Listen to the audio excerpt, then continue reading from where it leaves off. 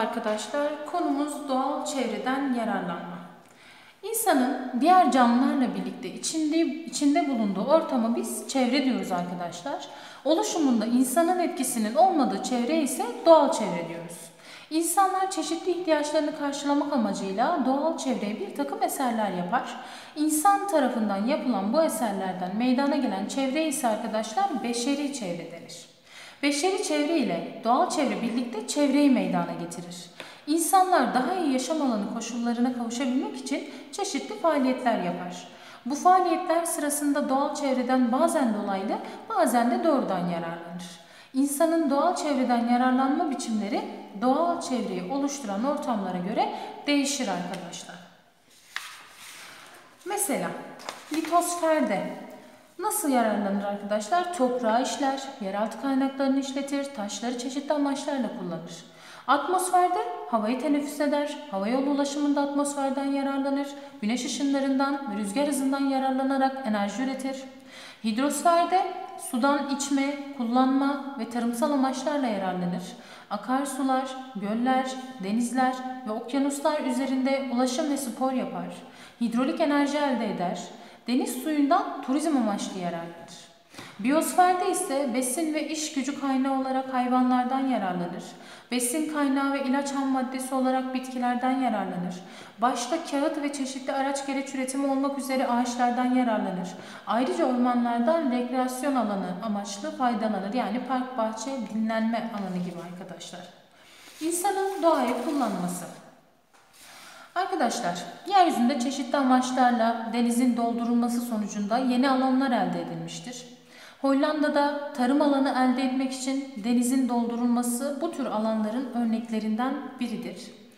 Basra Körfezi'nde yapılan Palmiye Adası da bu örneklerden biridir arkadaşlar.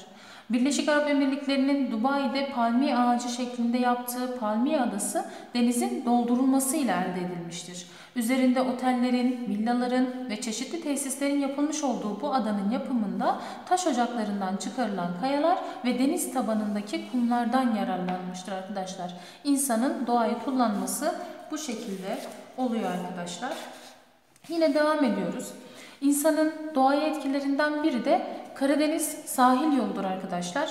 Samsun ile Sarp sınır kapısına kadar devam eden 1987'de ihaleye verilen ve 2007'de tamamlanan bu yolun uzunluğu 542 kilometredir.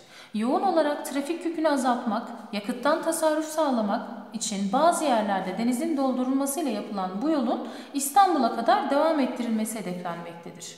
6 ile ve bu illerde bağlantılı olan diğer illere hizmet veren bu yol ülkemizin en büyük projelerindendir arkadaşlar.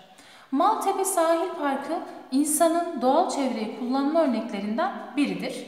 Yeryüzünde denizin doldurulmasıyla elde edilen en büyük parklardan biri olan Maltepe Sahil Parkı denize doğru 400 metre genişliğinde, kıyıya paralel 3500 metre uzunluğundadır arkadaşlar. Bu alanda miting, konser, spor, otopark ve piknik alanları ile yeşil alanlar bulunmaktadır. Yine arkadaşlar Avrasya Tüneli de ülkemizde doğadan yararlanma örneklerindendir. Avrasya toplam uzunluğu 14,6 kilometre, deniz altından geçen kısmı ise 5,4 kilometre olan iki katlı karayolu tünelidir. Asya ile Avrupa'yı deniz altından birbirine bağlayan bu tünel zamandan ve yakıttan önemli tasarruflar sağlamaktadır.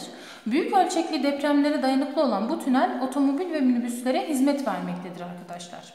Doğadan yararlanma şekillerinden biri de doğanın olumsuz koşullarıyla mücadele etmektir. Bunun ülkemizdeki örneklerinden birisi arkadaşlar Osman Gazi Köprüsü'dür.